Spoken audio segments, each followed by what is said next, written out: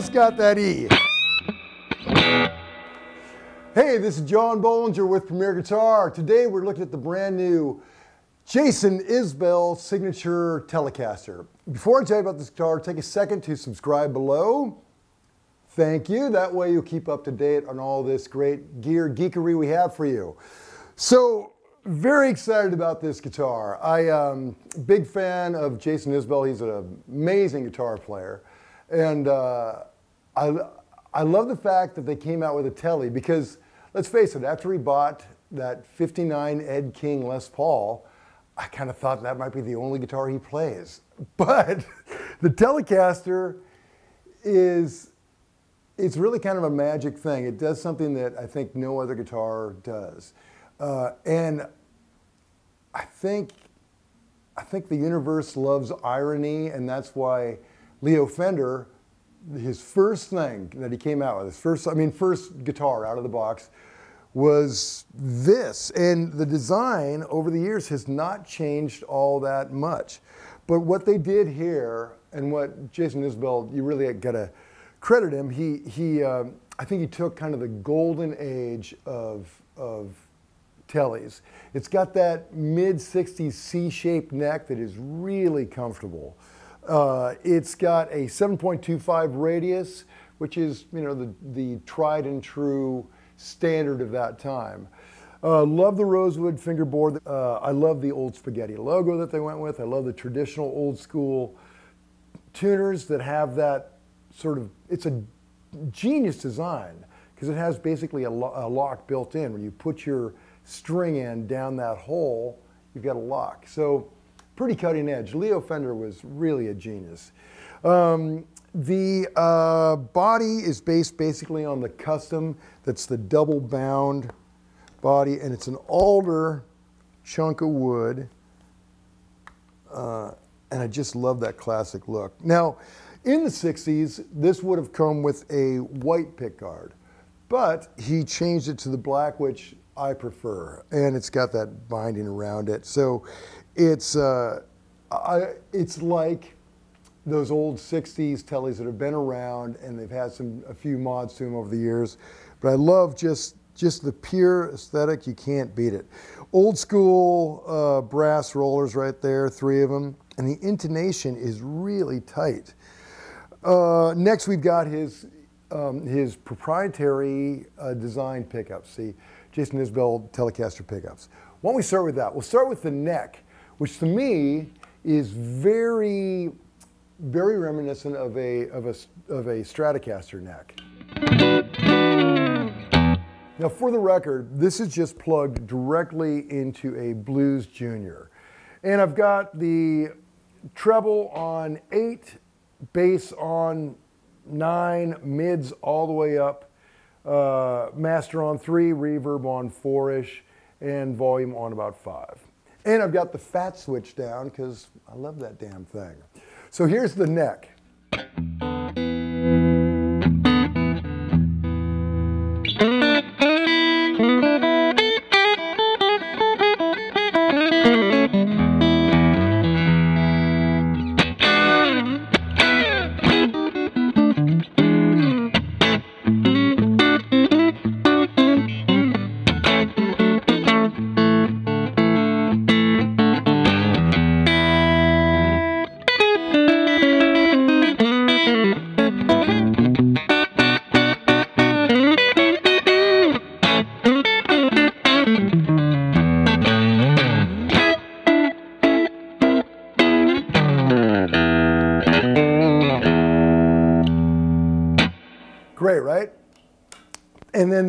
This, Tele bridge has all that spank you want.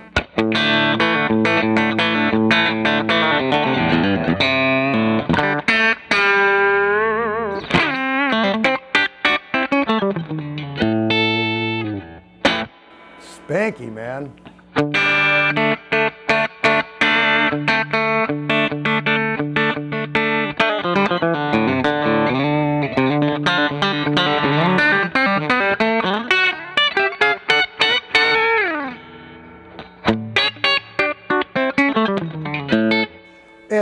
I get it. I'm doing a lot of country stuff, but man, this pretty much defined that country tone forever. It just works so well. Those bends just cut and it's like a steel. Love it. Okay, in between, well, that's, uh, that's like the secret weapon.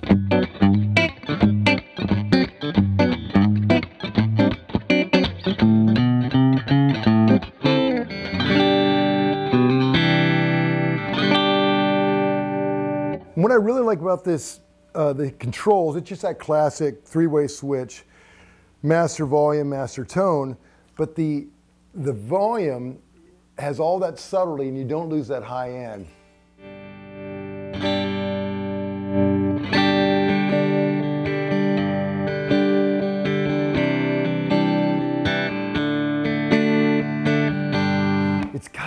Almost, it's almost acoustic-ish on that in-between with it rolled down a bit.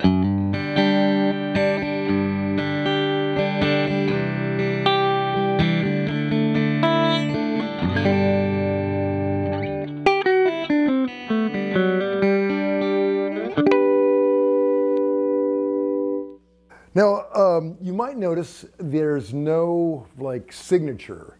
He, all Jason Isbell did was put this on back, which is, I guess, a tattoo that his wife and he got in New Zealand, and it is sort of an emblem of theirs. But I like that. I like, uh, I like that it's got a kind of a cool tip of the hat, but it's not too over the board like this is my guitar, because this will become your guitar. So. so um, let's see what else. Oh yes, the, I think the reason this thing feels so good is they, they went with a lacquer finish, and man, lacquer just to me feels better. I, I don't like the feel of poly, and I, I, it might be in my head, but I feel like I can hear it. This I think lacquer is more open and and just a little more I don't know open sounding, uh, and it feels great. And the way they did the neck, it feels like it's been played. Now they've relic the whole thing, but it's a subtle relic. In fact, um, I think from from the audience, you could not tell the difference between this and an old guitar. Uh, and the feel is really close, really feels good back on that neck and, and through the whole body. It just feels like, like an old friend. Um, why don't I just show you, why don't I crank this up a little bit and you can hear a little bit of the dirt on it.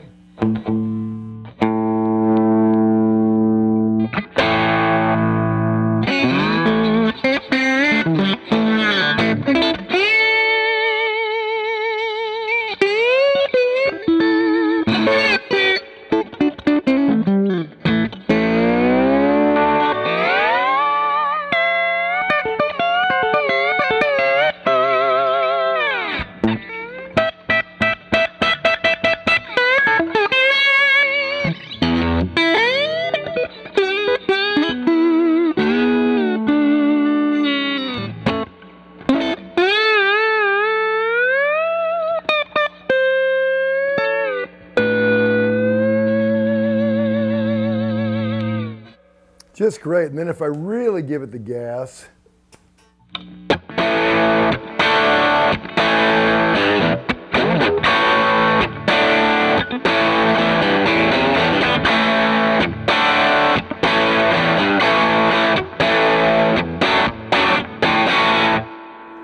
Jeez, man, that is that's as rock and roll as I'd want to get. Like all Teles from the 60s, it has 21 frets. I kind of miss that D up there, but that's where it is. Um, but there are those tall, narrow frets that I think are really comfortable, and I think the intonation is really solid all the way up the neck.